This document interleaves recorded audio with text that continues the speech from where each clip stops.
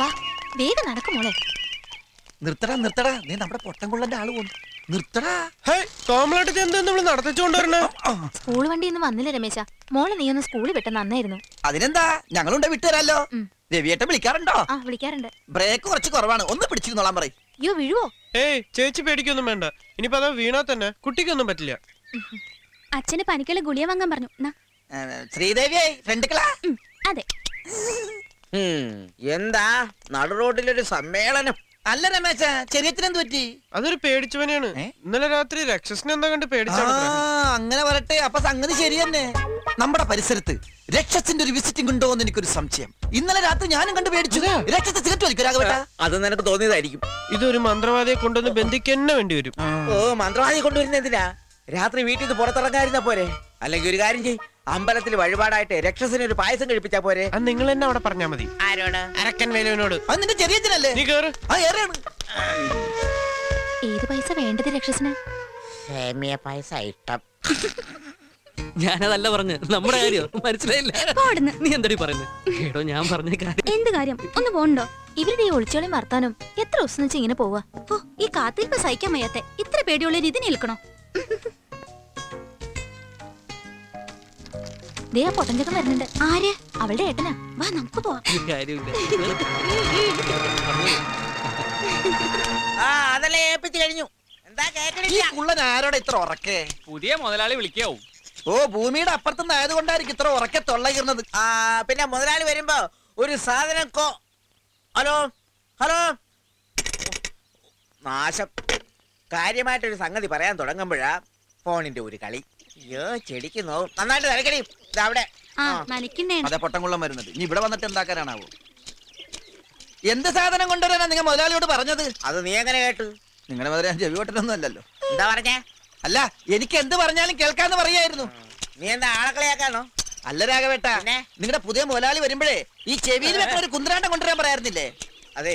ഞാനൊരിക്കൽ സൂചിപ്പിച്ചിട്ടുണ്ട്. വരുമ്പോ കൊണ്ടുവരേണ്ടതാ. ഇനിയിപ്പോ അതിന്റെ ഒരു കുറവുണ്ട്. എന്തേ? അതെ അതെ അതെ. നല്ല തിളച്ചു മറിയുന്ന എണ്ണ. അയാളെ പിഴിഞ്ഞൊരു വഴിയാക്കി കിടത്തി. അവസാനം അയാൾ ഇത് വിറ്റിട്ടും പോയി. ഇപ്പൊ ഇയാളുടെ വലയപ്പെട്ടേക്കണ അസൽ തിമിങ്കലാണ് ഇയാളുടെ ചുക്രം തെളിഞ്ഞ അല്ല എന്ത് പറയാനാണ്? പണിയെടുക്കടാ പണിയെടുക്കടാ. പണിയെടുക്കാണ്ട് നാട്ടുവിശേഷം പറഞ്ഞോണ്ട് നിന്നാലേ വൈകുന്നേരം കൂലി അറിയത്തില്ല പറഞ്ഞില്ലെന്ന് വേണ്ട. ഇവനൊരു സംശയം ചോദിച്ചപ്പോ പറഞ്ഞു കൊടുത്താണ് രാഘവേട്ടോ. പോട്ടൻ അയ്യോ അവന്റെ ഒരു സംശയം. പണിയെടുക്ക് പണിയെടുക്ക്. പറയണത് കേട്ടത്തൊന്നും ഇയാളുടെ വീട്ടിൽ നിന്ന് കൊണ്ടുവന്ന കൂലി തന്നെ കാശ് അയാളുടെ അല്ലേ? കേബിട് പൊട്ടൻ. നീ വേഗം പണി തീർക്ക്. ടൈലറിംഗ് സ്കൂൾ വിടാൻ സമയമായി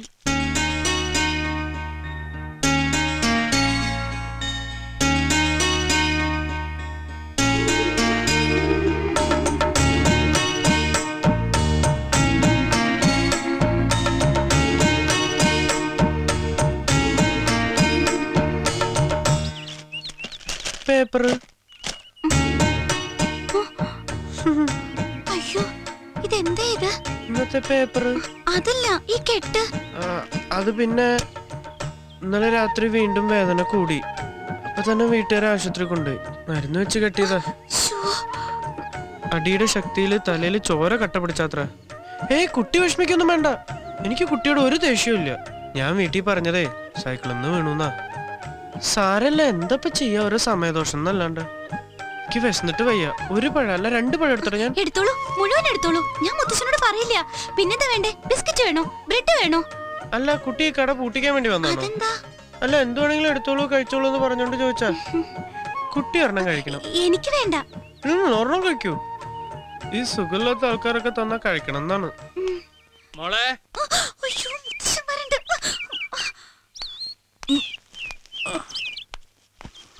ഇതാര് രമേശനോ?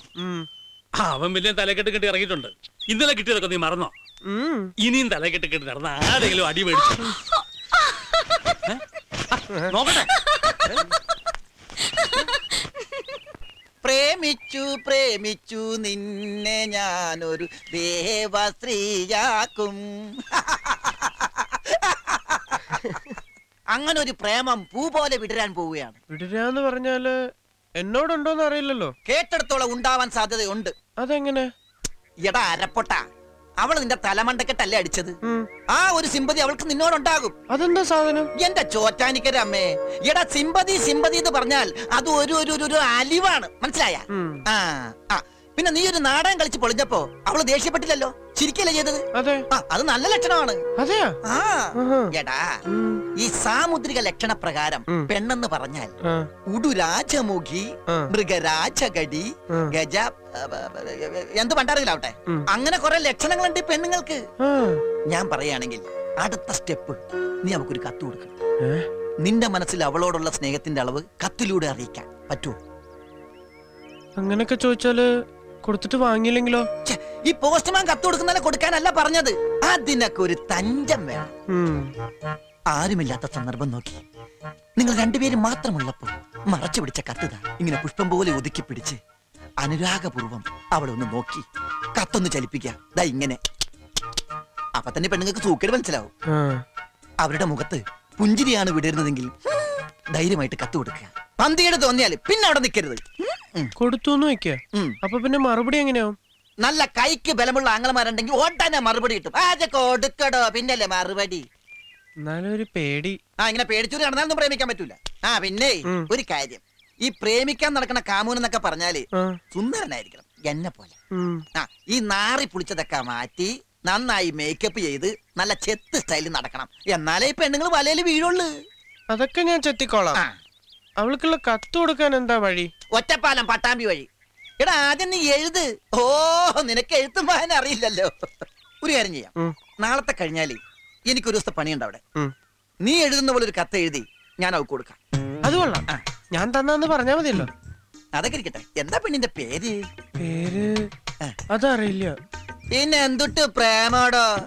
കത്ത് എഴുതുമ്പോ പേര് വെച്ച് തുടങ്ങണ്ടേ? ആ അല്ലാതെ പറ്റും. പ്രിയമുള്ളവർ അല്ലെങ്കിൽ എന്റെ പ്രാണേശ്വരിക്ക് അങ്ങനെയൊക്കെ തുടങ്ങാം. എത്ര കത്തെഴുതിയ കൈയാണ് ഇതെന്ന് അറിയോ? അല്ല ഇത് അറിയോ? ബാക്കി ഞാൻ വൈകിട്ട് പറയാം. നീ ഇത് എവിടേക്കാ? അത്യാവശ്യമായിട്ട് എനിക്ക് കുറച്ച് പരിക്കിനിടാണ്ട് ഇവൻ ഈ കത്തൊക്കെ എഴുതി സംഗതി കൊള്ളാക്കോ?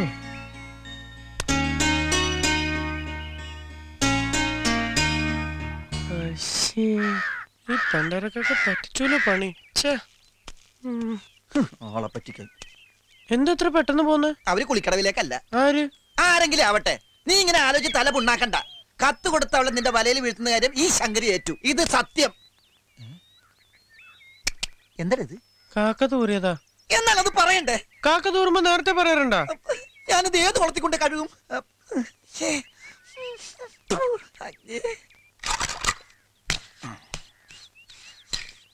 എന്തോന്നാടാ ഇത്? പണിയെടുക്കുമ്പോഴും ഇതിങ്ങനെ ചുണ്ടത്തിരിഞ്ഞോളോ നിർബന്ധം അല്ലേ ചുണ്ടത്തിരിക്കണ നിങ്ങൾ നോക്കണ്ട. ഈ പറഞ്ഞ നേരം കൊണ്ട് കക്കൂസിലെ ചുമന് ഞാൻ ശരിയാക്കില്ലേ ഇപ്പൊ അല്ലറ ചില്ലറ. അപ്പൊ ഇതിന് ധൈര്യമായിട്ട് കക്കൂസിന് അകത്ത് കയറി ഇരിക്കാല്ലോ ഇടിഞ്ഞു വീണാ നാളെ തന്നെ ശരിയാക്കി തരാന്നേ. ഓ അപ്പൊ നീ ആളെ കൊല്ലാനുള്ള പരിപാടിയല്ലേ? ഗോവിന്ദേട്ടാ അമേരിക്കയിൽ വരെ വലിയ വലിയ കെട്ടിടങ്ങൾ ഇടിഞ്ഞു പൊടിഞ്ഞു വീഴണം. പിന്നെയാണ് ഗോവിന്ദന്റെ കക്കൂസ്. ആ ഉദാഹരണത്തിന് മതി മതി. നിന്റെ നാവടക്ക്. എന്നിട്ട് പണിയെടുക്ക്. ഞാൻ പണിയെടുത്തോണ്ടിരിക്കുന്നു. അപ്പൊ ഗോവിന്ദനല്ലേ വന്ന് വാചകടിച്ചത് ഞാൻ നിർത്തി. ഞാൻ നിർത്തി. എന്ത് പണിയാ? പണിയല്ല വാചകടി. മീനാക്ഷി. എന്തോ? നിന്നെ അല്ലടാ. എനിക്ക് തോന്നി. മീനാക്ഷി എന്തോ അമ്മമ്മേ? നീ ആ വട്ടച്ചെമ്മീൻ എടുത്തേ. പുറത്തെ തൊഴുത്തിലിരിപ്പുണ്ട്. ആ ഇപ്പൊ കൊണ്ടുവരാം.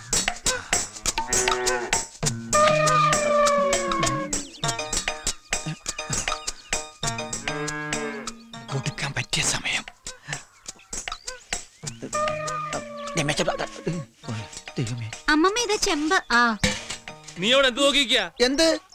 നടുവന്ന് നിർത്തിയതാ. ഓ നടുകൊണ്ടാ നിന്റെ പണിയല്ലേ.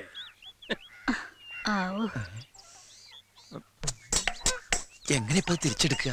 പെണ്ണ് കണ്ടതുമില്ലല്ലോ. പുലിവാലായോ? ഏ?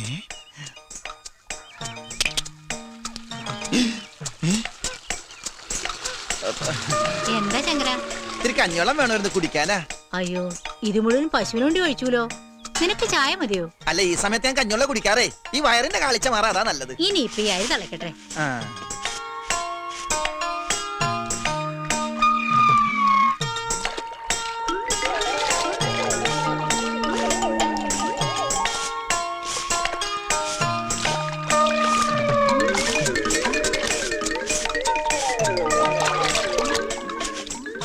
നീ എന്താടാ കഞ്ഞിവെള്ളത്തിൽ മുങ്ങി തപ്പുന്നത്? അതെ ഞാൻ ഈ കഞ്ഞിവെള്ളം കുടിക്കാൻ എടുക്കുമ്പോഴേ എന്റെ ഒരു ഇതുണ്ടായിരുന്നു.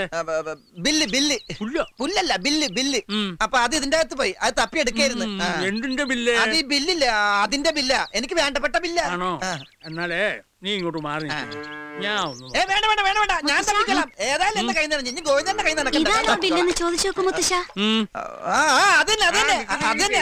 വലിയ ബില്ല് ഇവിടെ ഇവിടെ. ഇത്രയും വലിയ ബില്ലോ. ജീവന്റെ ജീവനായ പ്രാണേശ്വരിക്ക്. നിന്നെ കണ്ട നിമിഷം മുതൽ മനസ്സിന്റെ ശ്രീ ശ്രീകേവി ശ്രീകേവിലോ ശ്രീകോവിൽ എന്നാ ഉദ്ദേശിച്ചത്? ആരെ. എന്റെ പ്രാണേശ്വരിയെ പ്രതിഷ്ഠിച്ചു കഴിഞ്ഞു ഞാൻ. ഇനിയുള്ള എന്റെ ജീവിതം നിന്റെ മാറത്തെ ചെണ്ടയിലൊരു പൂവായി ഏ? കാല പനില പാട്ട. കാലപ്പാനിലെ പാട്ട് വൃത്തികെട്ടവൻ. പ്രായമായ ഒരു പെൺകുട്ടിയോടെ നിൽക്കുന്നു ഇല്ലേ അത് മുഴുവൻ വായിച്ചനെ. മുളകത്തു ഇതാർക്ക് കൊടുക്കാൻ എഴുതിയാടാ ഈ ഏരിയയിലേക്കല്ല. ഇത് ടൗണിലെ തയ്യക്കടല ഒരു പെണ്ണിന്. മിണ്ടരുത്. നിന്നെ വീട്ടിൽ കയറ്റാൻ കൊള്ളാതാണെന്ന് എനിക്കറിയാം. അയ്യോ ഗോയിന്നേട്ടാ ഇവിടെ ആ, മതി മതി മതി. പോയി. ഏ. സമയം കിട്ടുമ്പോ വായിച്ചു നോക്ക്. അവന്റെ തലയിൽ കാക്ക തൂറിയപ്പോഴേ ഞാൻ കരുതിയതാ ഇത് കൊളാവുന്നു. അമ്മാതിരി തൂറലല്ലേ തൂറിയത്?